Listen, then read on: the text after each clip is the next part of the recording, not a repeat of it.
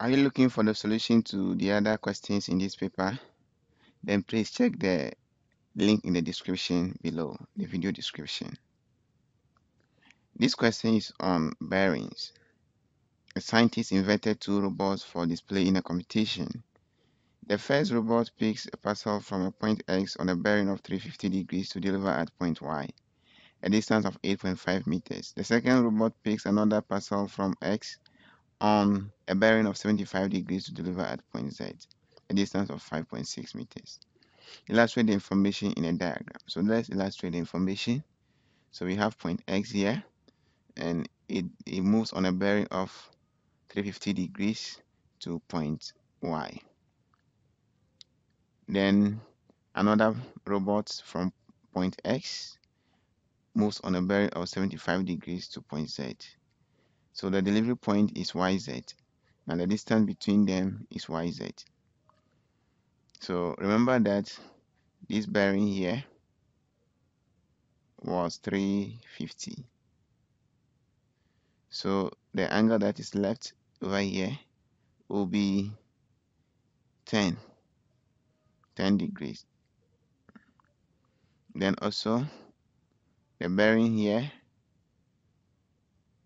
is 75 so the angle angle y x z is 85 degrees. 10 plus 75 is 85 degrees.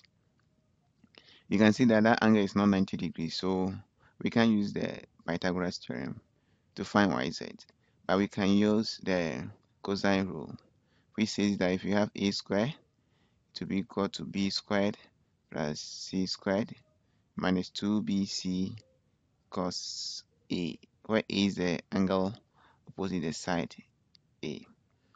So if this is a and this is b and this is c then we are going to get a which is yz to be equal to b squared which is 8.5 squared.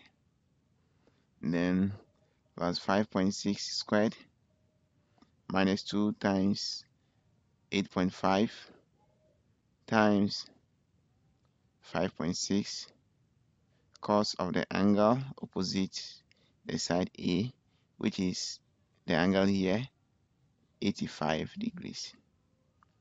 So a squared will be equal to 72.25 plus 31.36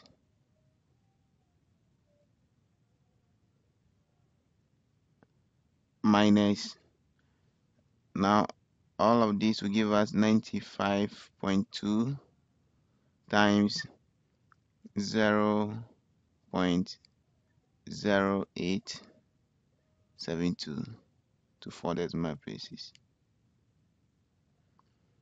So when we simplify this, we are getting 103.61 minus 8.3944. So a squared will be equal to 95.30856. So a will be equal to square root of 95.30856 which is equal to 9.76 to two decimal places. 9.76 meters. 9.76 meters. Now what do we do next? We are to so the distance between the two robots at their points of delivery is 9.76 meters. Now the next thing we are going to do is to find the bearing of y from z. So to do that we know that this angle here is 85 degrees.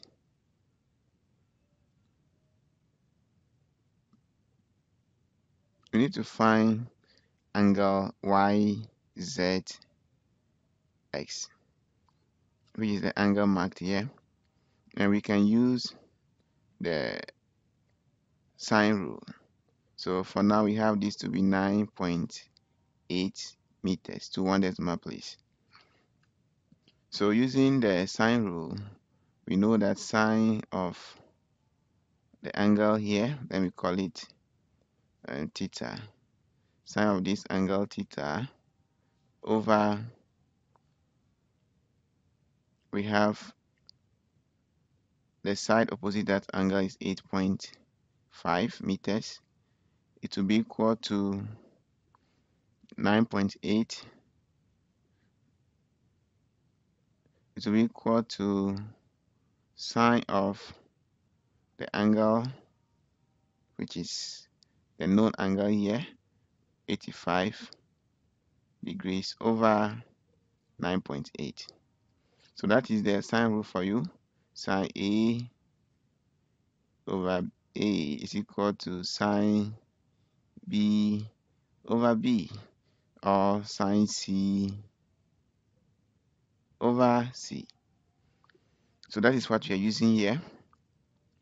So we have to evaluate this and we know sine theta will be equal to sine 85 degrees times 8.5 over 9.8 and when we evaluate that we are getting 0.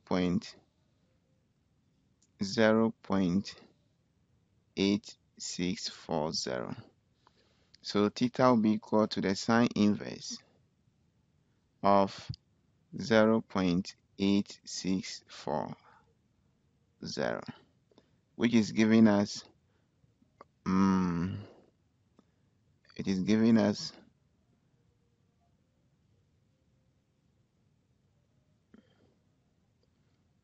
Fifty-nine point seven seven. Fifty-nine point seven seven degrees to two decimal places or approximately 60 degrees. So we got the angle here to be approximately 60 degrees.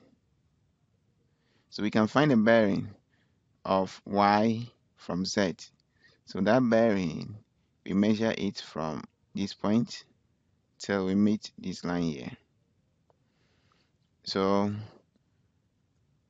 we know this is supposed to be 25 the angle here is supposed to be 20, uh, 15 it's supposed to be 15 because 15 plus 75 will give you 90 because this angle here is 75 so it means that the small angle here is 15 degrees because alternate angles are equal. So if it is 15 degrees it tells us that the small angle over here. The angle over here if this is 15 and this one over here will be 45 so we know that from this point to this point is 90 then we have 180 then we have 270 so we add 270 we add uh, 270 to the 45 degrees here to get the bearing. So the bearing of y from z will be equal to so this is the i i part will be equal to bearing of y from z. Will be equal to 270 plus 45 degrees and that will be equal to 315 degrees to the nearest degree